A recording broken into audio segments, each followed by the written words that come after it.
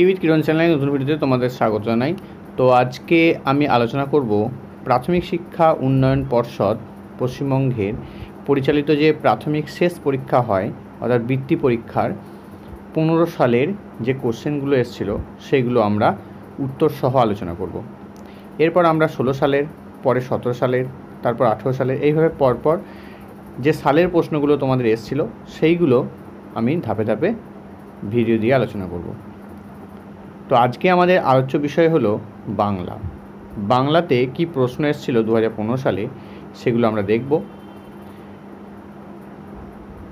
ভিডিওটি ভালো লাগলে একটা লাইক করবে, বন্ধুর সঙ্গে শেয়ার করবে, আর চ্যানেলে নতুন হলে চ্যানেলটা সাবস্ক্রাইব করে রেখে দেবে। তো এই সমস্ত প্রশ্নগুলো যদি আমরা পড়ি, তাহলে আমাদের বৃত্তি পরীক্ষার কোনো প্রশ্নই কিন্তু আটকাবে না। কেমন ধরনের প্রশ্ন আসে, সেগুলো আমরা একটু দেখব এবং একটু আলোচনাও করব। তো বাংলার মোট পূর্ণমান থাকে একশো নম্বর সময় থাকে দু ঘণ্টা তিরিশ মিনিট। তো এখানে যে প্রশ্নগুলো আছে, একের দাগে যে প্রশ্ন, সেখানে দেখো, বলছে যে কোনো চারটি প্রশ্নের উত্তর দাও। এখানে প্রতিটা প্রশ্নের মান কিন্তু আট করে রয়েছে। তো কয়ের যে প্রশ্ন, সেখানে দেখো বলা হয়েছে, গত এক মাস আমরা যে কষ্ট পেয়েছি, আমি ভাবতে পারি না। কোন গদ্যাংশের অংশ, উক্তিটি কার? তিনি কোন দেশের লোক ছিলেন? কিসের উদ্দেশ্যে তারা রওনা হয়েছিলেন? শেষে যে জাহাজে করে রওনা হয়েছিলেন, তার নাম কি?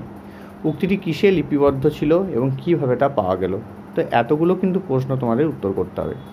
তো দেখো, প্রথম যে প্রশ্ন, সেটা হচ্ছে কোন গদ্যাংশের অংশ আর উক্তিটি কার? তো এটার উত্তর আমরা দেখে নিচ্ছি। দেখো,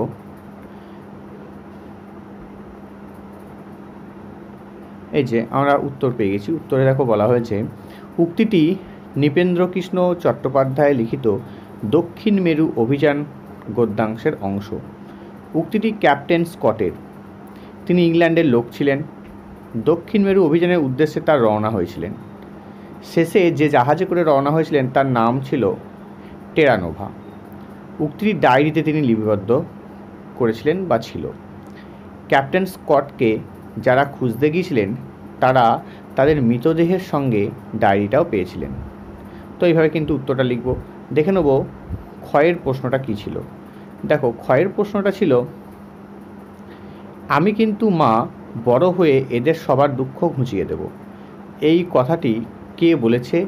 মায়ের কোলে শুয়ে কোন কোন বীরত্বের কাহিনী শুনে বক্তার বুকটা টন টন করে? কোন কোন গল্প শুনে তার মন ভক্তিতে ভরে ওঠে? কি শুনে তার রাগ আর দুঃখ হয়? তো এই সব কটা প্রশ্নের উত্তর আমরা দেখে নিচ্ছি, কি হবে?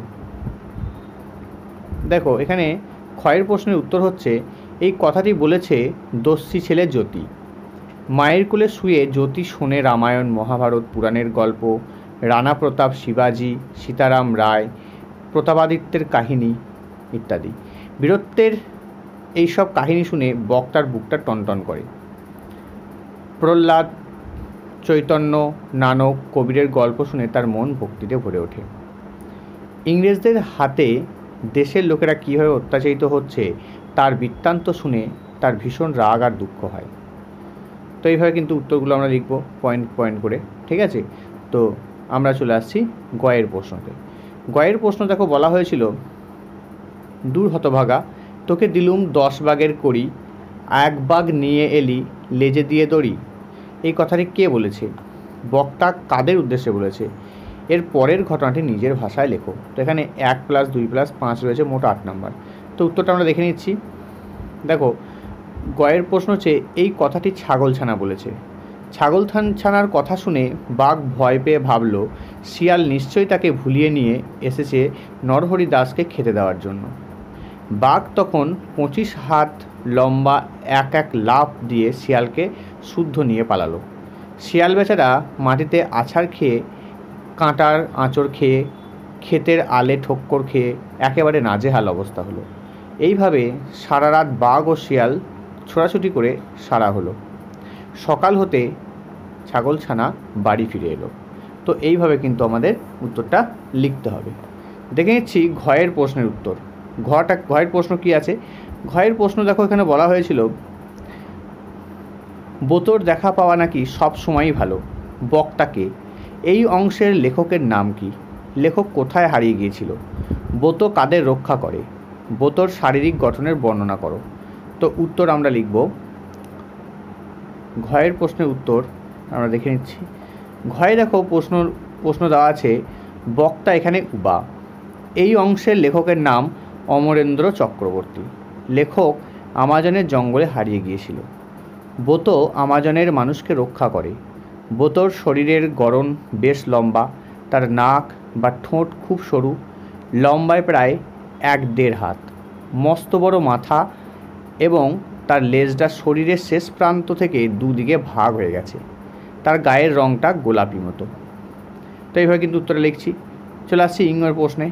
ইঙ্গর প্রশ্নটা দেখো কি বলা হয়েছে এখানে? ভাত হয়ে গেলে মাটির কড়াইতে মাছের ঝোল রাঁধে। এই অংশটি কোন গল্প থেকে নেওয়া হয়েছে? কি চালের ভাত হলো? কি মাছের ঝোল রাঁধা হলো?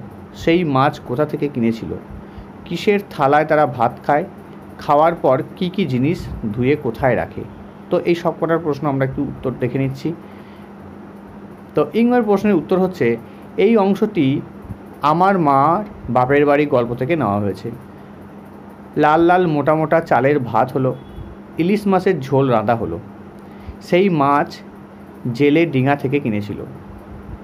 মাটির থালায় তারা ভাত খায়। খাওয়ার পর থালা, বাটি, হাঁড়ি, কড়াই নদীর জলে ধুয়ে পাটাতনের নিচে তুলে রাখে। তো এইভাবে কিন্তু উত্তরগুলো তোমরা লিখবে। আসছি দুয়ের দাগের কয়ের প্রশ্নে। দুয়ের দাগের কয়ের প্রশ্নগুলো আমরা একটু দেখে নিই। তো এখানে যে কোনো চারটি প্রশ্নের উত্তর দাও। চার গণিত চার মানে ষোলো। ষোলো নম্বর কিন্তু প্রশ্ন রয়েছে। কয়ের প্রশ্ন দেখো, ব্যস্ত সবাই আজকে তাদের ভোজের নিমন্ত্রণে। রান্নার জন্য তারা কি কি সঙ্গে এনেছিল? মিছিমিছি কি কি খাবার রাঁধা হয়েছিল?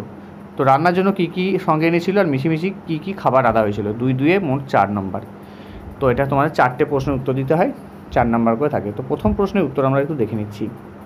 রান্নার জন্য তারা কি কি সঙ্গে এনেছিল? তো দেখো, দুয়ের দাগের প্রশ্নের উত্তর, রান্নার জন্য তারা আমের গুটি নারকেলের মালার হাঁড়ি, রঙিন খুঁড়ি, ছোট্ট বঁটি এবং ছুরি সঙ্গে এনেছিল।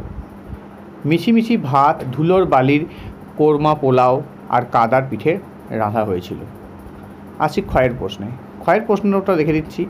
ক্ষয়ের প্রশ্ন এখানে ছিল, চৌপর দিন ভোর দেয় দূরপাল্লা, কবির নাম লেখো। কে দূরপাল্লা দেয়? চৌপর শব্দের অর্থ লেখো। আর দেয়ের অন্য রূপ কী? তো উত্তর আমরা দেখে নিচ্ছি।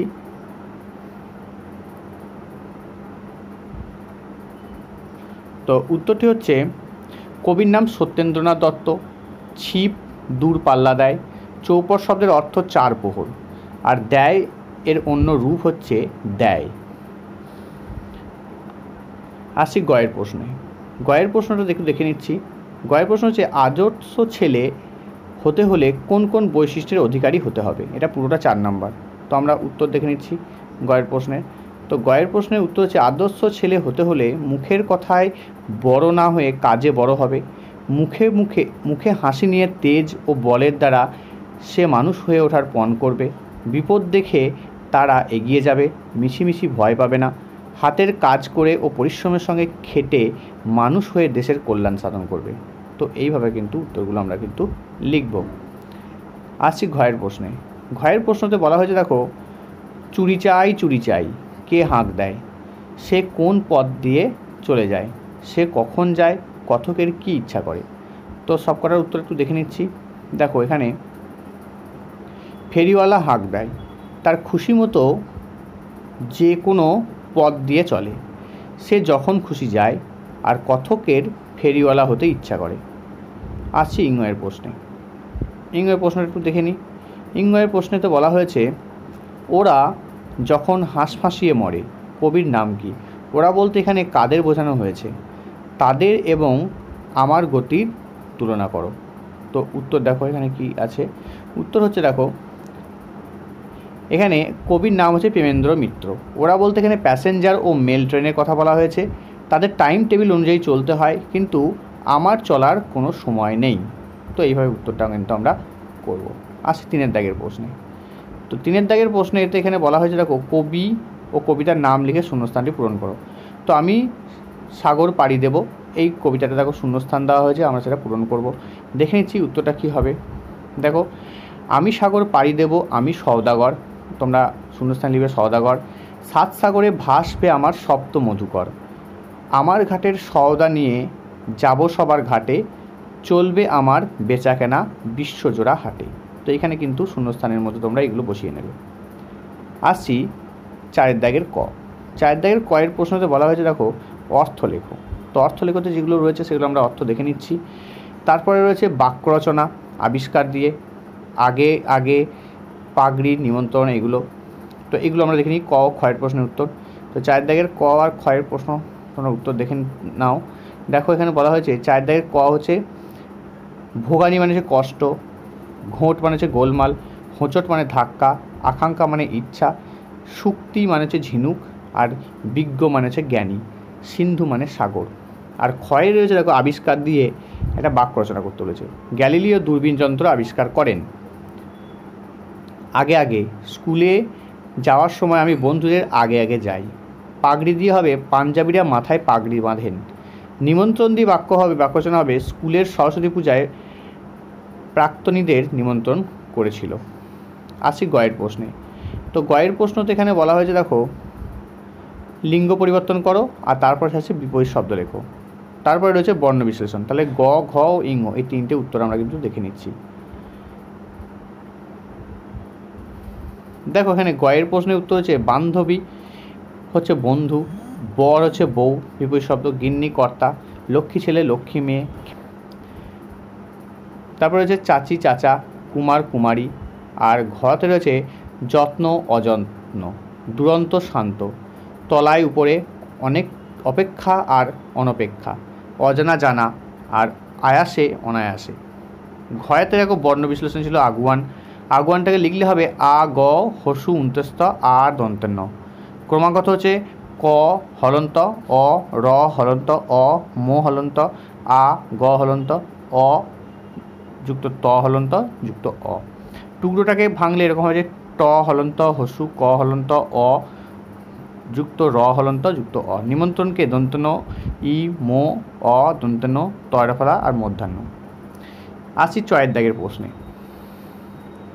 চয়ের দাগের প্রশ্ন এখানে বলা হয়েছে, দেখো শব্দ গঠন করো। এইগুলো দিকে একটা শব্দ গঠন করতে হবে। তো এগুলো দেখো উল্টো পাল্টা করে দেওয়া আছে, সেটাকে আমার শব্দ গঠন করতে হবে, তারপরে রচনা লিখতে হবে। তো রচনা হচ্ছে বিদ্যাসাগর জাতীয় উৎসব আর কুকুরের প্রয়োজনীয়তা। তো দেখো এখানে শব্দ গঠনে কী কী আছে? শব্দ গঠনে আমাদের যেগুলো আছে সেগুলো দেখে নিচ্ছি শব্দ গঠনে। শব্দ গঠনে দেখো এখানে গাছ কোমর খরবায়ু তারপর হচ্ছে পাদলান, আর হচ্ছে গঙ্গামাটি বারাণসী আর ভারতলক্ষ্মী। তো এরপর যে রচনাগুলো আছে, সেই রচনাগুলো আমি তোমাদের একটু দেখিয়ে দিচ্ছি।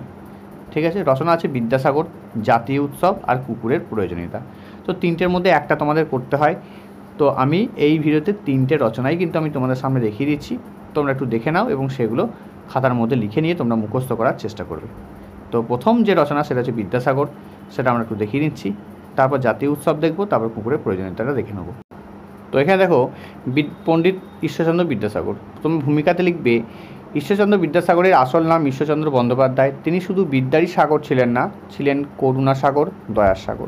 জন্ম, বংশ পরিচয়। মেদিনীপুর জেলার বিশৃঙ্গ গ্রামে আঠারোশো কুড়ি খ্রিস্টাব্দে ছাব্বিশে সেপ্টেম্বর ঈশ্বরচন্দ্রের জন্ম হয়। তার পিতার নাম ঠাকুরদাস বন্দ্যোপাধ্যায়, মাতার নাম ভগবতী দেবী। তারপর তোমরা শিক্ষা বলে পয়েন্ট করবে। শিক্ষা বলে পয়েন্ট করে তোমরা লিখবে, পাঁচ বছর বয়সে গ্রামের পাঠশালায় ভর্তি হন।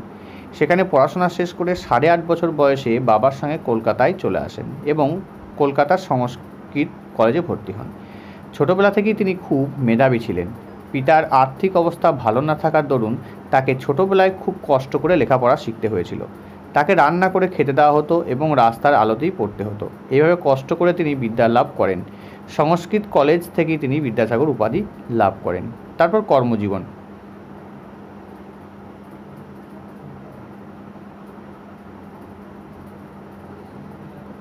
এরপর কর্মজীবনে তোমরা লিখবে, লেখাপড়া শেষ করে তিনি চাকরিতে যোগ দেন। তিনি সংস্কৃত কলেজের অধ্যাপক হন, পরের অধ্যক্ষ হন। তার বর্ণপরিচয় কথামালা, সীতার বনবাস, প্রভৃতি পুস্তক আজও জনপ্রিয়। তিনি খুব তেজস্বী পুরুষ ছিলেন। একবার উপরওয়ালার সঙ্গে মতবিরোধ হওয়ায় তিনি এক কথায় পাঁচশত টাকা বেতনের চাকরি ছেড়ে দেওয়ার সিদ্ধান্ত নিয়েছিলেন। তিনি তার মায়ের আদেশে সবসময় মেনে তিনি তার মায়ের আদেশ সবসময় মেনে চলতেন। গরিব দুঃখীর প্রতি তার অসীম দয়া ছিল। তিনি গরিব দুঃখীকে অকাতরে দান করতেন। এরপর মৃত্যু। মৃত্যু লিখবে বাংলা বারোশো আটানব্বই সালে তেরো, তেরোই শ্রাবণ, ইংরাজি আঠারোশো একানব্বই খ্রিস্টাব্দে উনত্রিশে জুলাই তিনি কলকাতায় পরলোক গমন করেন। তার স্মৃতিরক্ষার জন্যে কলকাতায় বিদ্যাসাগর কলেজ ও বিদ্যাসাগর স্ট্রিট আছে।